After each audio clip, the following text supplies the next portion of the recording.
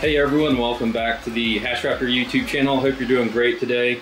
We've got some new parts in. We're going to consolidate some GPUs as we start a 3000 series rig build here. And I'm going to walk you through everything that we've got. Okay, so here's what's going on guys. We took down a couple of rigs because we sold our 10 series GPUs. And in this older rig frame right here, as I've been getting in a couple 3060 Ti's, I've got this EVGA 3060 Ti. It's a For the Win 3 edition. And the same over here. And these were just up and running temporarily. So I've got two 3060 Ti's there. And up here we've got our NVIDIA 3060 Ti also. And in, in shipping right now that will arrive tomorrow, unfortunately, I have a Zotac card on the way. So we'll have four 3060 Ti's. And the idea is to fill out this 6 GPU Veddha rig frame with all 3060 Ti's and we're going to use some of the latest gear that we've got in. But in the meantime, I think what I'm going to do, it'll probably take me a couple videos to build all of this out and get it fully tested, is I have a couple 3070s that I've picked up just because they were available and I'm gonna drop those in place until I can fill those two slots with 3060 Ti's. And at some point I'll take these 3070s and I do have this additional Gigabyte Aorus 3070 over here. And I guess I'll start a 3070 rig as well, since this one only holds six GPUs. All right, so let me walk you through all the parts we're gonna be using today. Now, as I mentioned recently, I took this Titan rig frame sort of out of production when I sold those 10 series cards. And these fans that are on here are really, really old. These are several years old. So I wanna just redo all of this, replace a lot of this gear right here. I am going to repurpose the motherboard, the processor, and the memory. So we're going to use that in this build, but we're going to get rid of this ATX power supply over here. And I may temporarily use this 1200 watt server power supply. And the reason for that is it can do 110 volt AC power. And I want to do some meter readings at the wall. And once I load up a full circuit, I don't have a great way to do that on 220. So we'll use that in this video right here to get going. But eventually what we're gonna have in here is down here, this Delta 2400 watt power supply. And it cannot work on 110, it's gotta be 220 and above. So we'll migrate to that power supply eventually. And partnered up with that, I'm gonna use this new parallel miner Pico breakout board, which right now I'm in love with. You may have seen the video I put out on this. So you've got the 24 pin, you've got 16 PCIe 6 pin power cables here, you've got a fan hub, you've got really everything you need on one board. And what this does is it eliminates the need for an ATX power supply.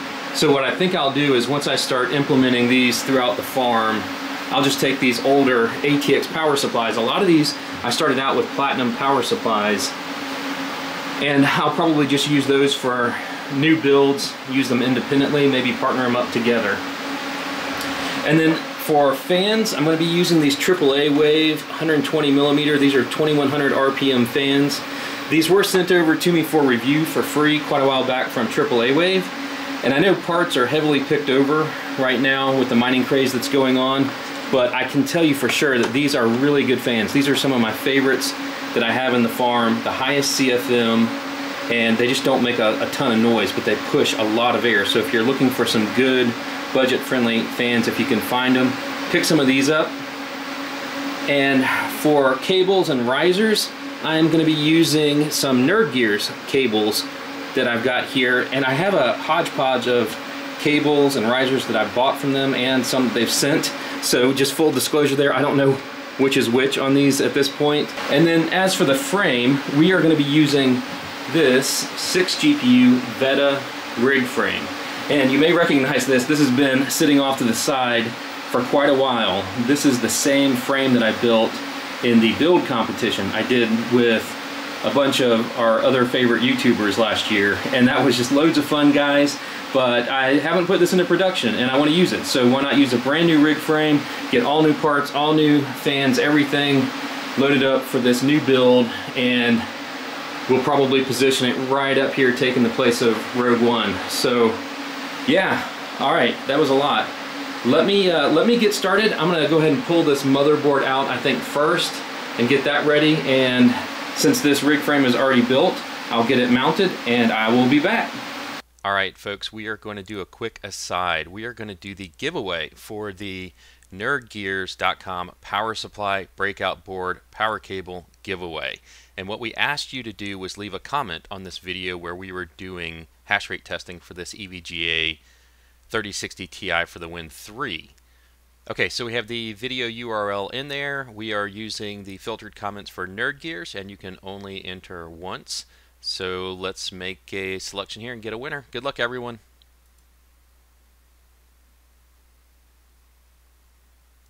Corey Hunter, nerdgearz.com power supply. Thanks for the in info and giveaway. Awesome, Corey.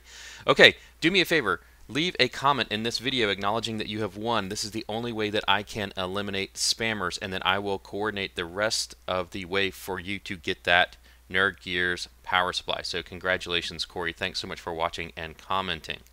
Now stay tuned. In the next video, we are going to be doing a GPUrisers.com giveaway. So stay tuned on how to enter for that. You'll get those details in the next video. Okay, back to the show. Okay guys, my fan came on. Hopefully you can hear me okay.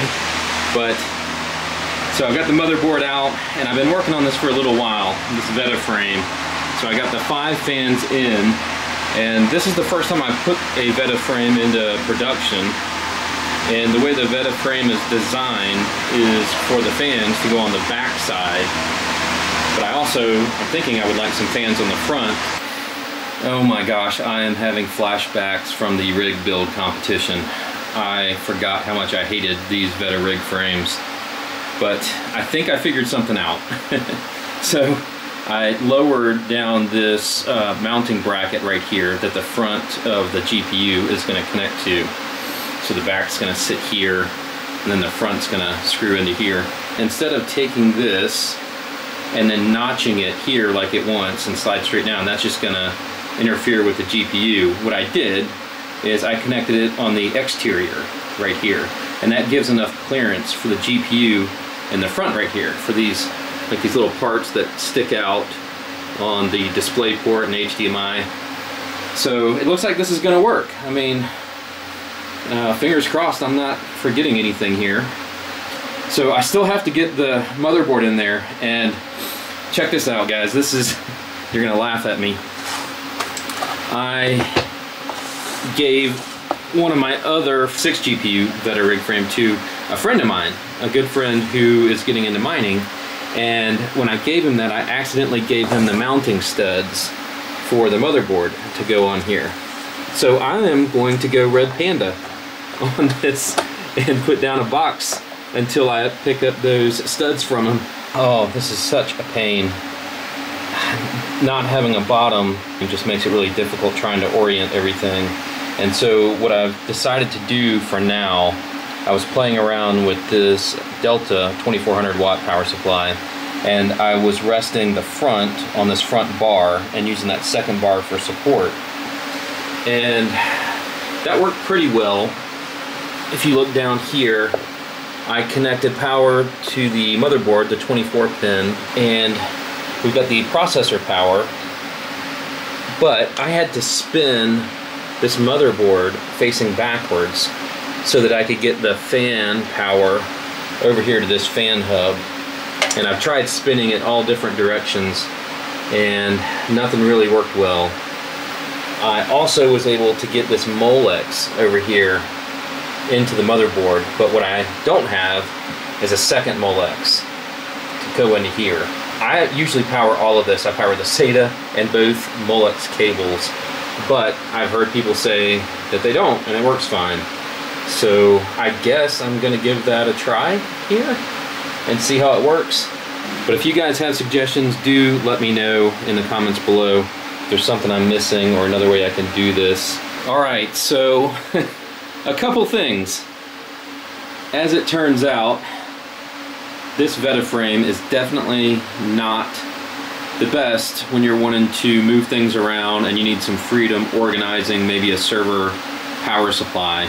It was really a nightmare trying to find a bar to get this positioned on and I still need to secure it probably with a zip tie or something like that or a couple zip ties but there is some tension on all these cables and it is sitting on a bar so it should be good for the next couple days but I had to play around with orientation a bit so for example I ended up spinning it once again and here's the front and you can see right here the breakout board is now facing forward and one way that's going to be handy is for the power switch that's right here and one thing to be aware of is this breakout board, it has so many connections, which is fantastic. It just gets really busy in there fast. It becomes a, a bird's nest, and you really need to think through what you're connecting first. I recommend going with your larger wires and then work inside out, connecting all the smaller wires after that because yeah, it gets it gets a little crazy. I did do some basic cable management here on my PCIe power cables going up. Let me show you where we are right now. I actually had to leave town for a couple of days. So this is where I got the rig. We got one, two, three, four, five, five GPUs up. You can see we got all the AAA wave fans on the front. We got everything pointing the right way, so we have got air being pulled from the back side over there. We've got fans all along the back, and these on the front, so there's really good airflow pulling heat off right now and moving air across the cards.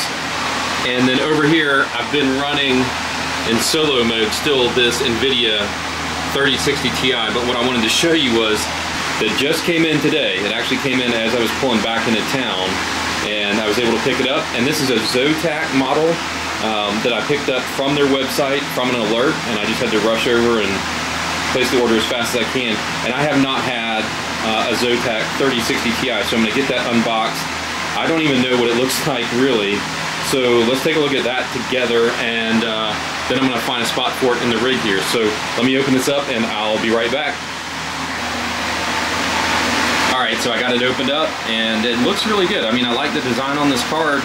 It's, it's no frills. I mean, it's pretty simple, but it's exactly, you know, what we need. It's got, let's see here, one HDMI 3 display port, two fans on here, and it is a single 8-pin, which is nice for power management purposes.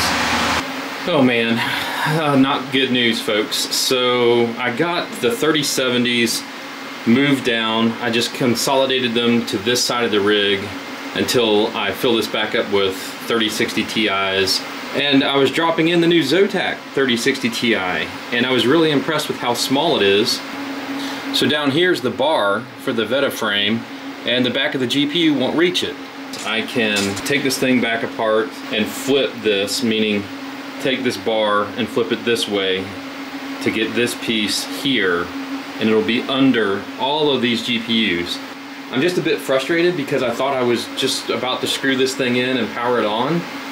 Yeah, so you can see the bar on this AAA wave frame is already in the right spot right here. And if I needed to move it, even if it wasn't, you can see there's screw holes all along here. And it's just really easy to reposition that. Yeah, this thing, it's all put together now. So what we've got here is the two EVGA for the Win 3 3060 Ti's, the NVIDIA 3060 Ti, and then three 3070s. And the idea is that eventually we'll take the single 3060 Ti in the next video, get it in here, and then as soon as I can snag two more, we'll have this completed 3060 Ti rig. So let's uh, let's fire this thing up and see if we can get to hashing.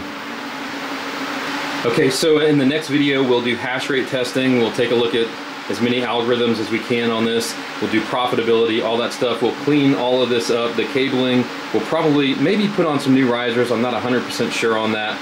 But we'll, we'll finish this rig out completely in the next video. But uh, let's jump over to Hive real quick. Actually, I'll just check it here on my smartphone. All right, guys, we are up and we are mining here. Let me show you what's going on in Hive. And just want to show you, we got the rig up and I did a little bit of tweaking in here to accommodate for the 3070s, which seem to require a little bit more wattage, unfortunately. Right now we're at 372 megahash, and everything's running pretty solid so far. I'll do some more configuring on these overclocks here, and I'm gonna do a little bit more organization down here and get this rig all squared up. This is the 3070 Aorus, the gigabyte card. I've got it set to roll between the wattage and the temperature. And that is, you know, slightly useful. If I put this maybe in the middle of the rig and I want to see what the temperature looks like, I can just get a, you know, a quick look when I'm out there standing beside the rig uh, versus it just being a random graphic or turning it off altogether. So the question is going to be when I pull it from this machine, is it going to wipe that information or is it loaded locally once I configure it and apply it? I am assuming it's going to wipe it, but we're going to give that a shot. I'm going to yank this thing, go put it in the rig, and let's see what happens here. And before I forget, I think I started out this video by checking to see if we could get the wattage uh, and the temperature on these LCDs once we move from Windows to Hive. And unfortunately, the LCD memory, it didn't persist when I took it out of the Windows machine, which is what I expected. I, I think that that's being loaded at boot on the PC side. So that's unfortunate. Maybe, I know for the Hive team, it's probably not at the top of their priority list, but it'd be great if, you know, they could sneak in that functionality so we could use those LCD displays. And yeah, 372 mega hash that is almost as much as my Kenobi rig, which is 13 1660 Ti's, which is running just a hair under 400 megahash. But that's with 13 1660 Ti's. And over here we've got one, two, three, four, five, six. So from a space standpoint and a densification standpoint, this rig wins out, but certainly from reliability and stability, over the last couple years, this rig has just been amazing, and I'm just going to ride this thing into the ground. I just love these cards so much. All right, guys, I'm, I'm going really long on this video. Let me stop there. We will see you in the next one. Take care, Raptors. We can do anything together if we just try. And as long as we have our backs, whenever our foes combine.